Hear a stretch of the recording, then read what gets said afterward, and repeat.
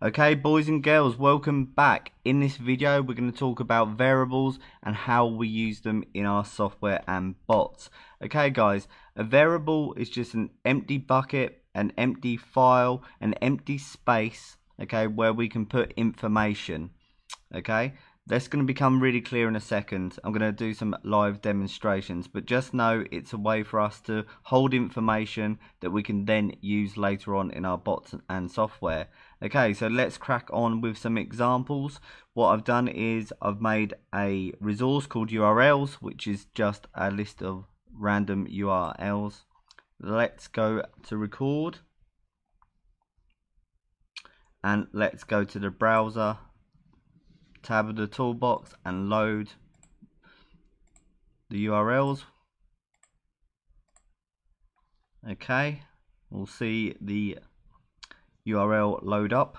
I've made it choose a random URL from a list. There you go. So that's just normal. We've done that before.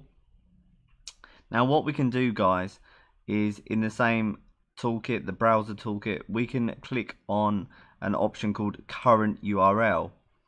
Now what that does guys is gives gives us a chance to put the URL that we're on, okay, into a variable or a placeholder, okay, or an empty bucket, however you want to name it. And um, the option here is to save the URL with any name that we want and the standard is current URL we could change this to the URL or anything that makes sense. But guys, always use a variable name that you can recall what what it's used for. Okay, so make it descriptive. So just for this, I'm going to call it the URL. Okay. So what we've done now, guys, we've initialized the bot, we've loaded a URL, and we've made a um, a bucket or a placeholder called the URL. And right now, the information that's in that in that empty space is um, the current URL that we're on.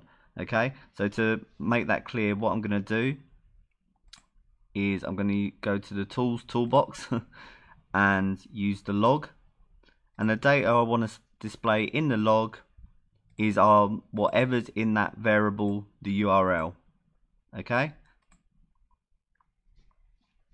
So now, um, after that, I'm going to make a just for convenience sake, make a five second wait time after it's done that.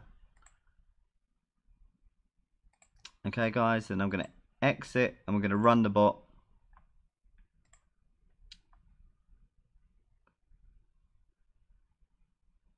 Let's let that run.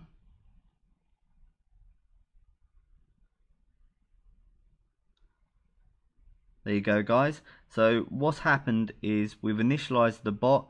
We've gone to um, a URL at random from a list. In this case, it was brandontoolhire.co.uk. Okay, and then we put that information, the current URL that that we're on, into a variable or a placeholder called the URL, and we've said, hey, display whatever information is in that um, variable, the URL, onto the log. So in this case, it's Brandon. So let's run that again.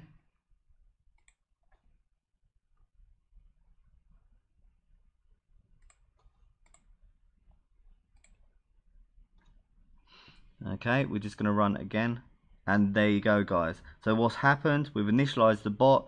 We've said hey go to a random URL in that URL list in this uh, case it was lockerroofing.co.uk okay and we've said take that URL the, the current URL that we're on and put it into a variable.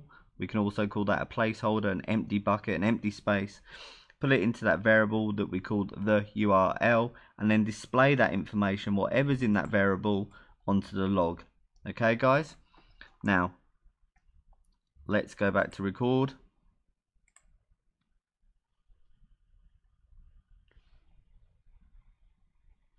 And let's get rid of some of this. In fact let's get rid of everything um, another way that a variable can be used and a way I can demonstrate this is we can go to script logic and we can go to set variable so we can just make a blank variable now I'm going to call this counter so it's descriptive and uh, what's what we want to put inside the variable. At the moment there's nothing. It's an empty bucket, an empty space.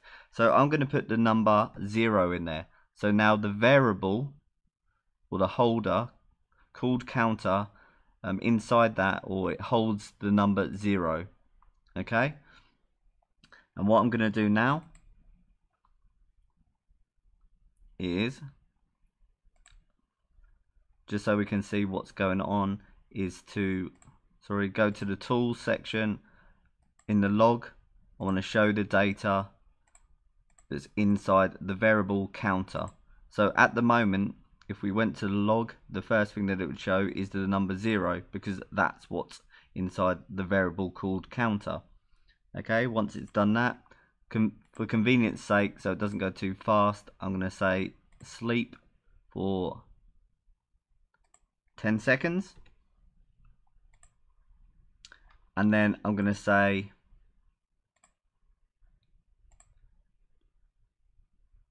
I'm going to go back to script logic and then put increase variable okay so what variable do I want to increase the only one that we've got is called counter and I want to increase the counter by one so what's going to happen is the information in the variable is going to change at the moment it holds the information zero and then it's going to add 1 to that. So then the variable called counter will hold the number 1.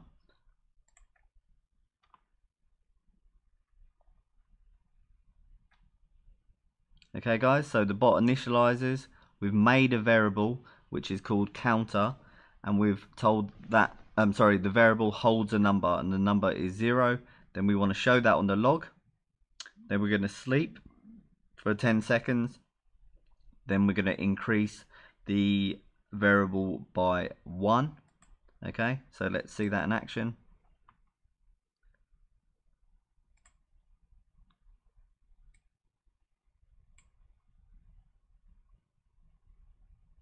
in fact what we want to do guys so we can demonstrate this better is really we want to make a loop which we're going to go through in other videos. But just to show you um, we could add a loop here. So we could say while counter is not equal to 10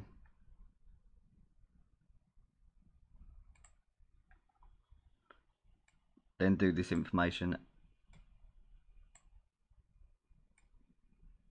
So what we're doing here guys, we're uh, initializing the bot. We've made a variable called counter, it holds the number zero. And we're saying while the count the variable called counter is not equal or doesn't have the number 10 in it, then do these actions, which is show the counter number in the log, sleep for 10 seconds, and increase the counter by 1. So let's run that, guys. You see that? Thread 1 zero. Now let's wait 10 seconds.